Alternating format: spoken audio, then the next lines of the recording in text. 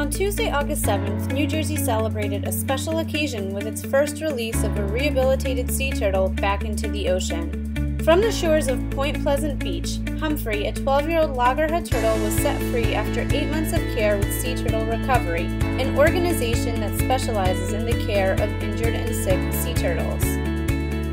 Arriving in a black SUV, Humphrey was then walked towards the water in a green stretcher. After being placed on the sand, Humphrey started to walk to the ocean, albeit a few hesitations.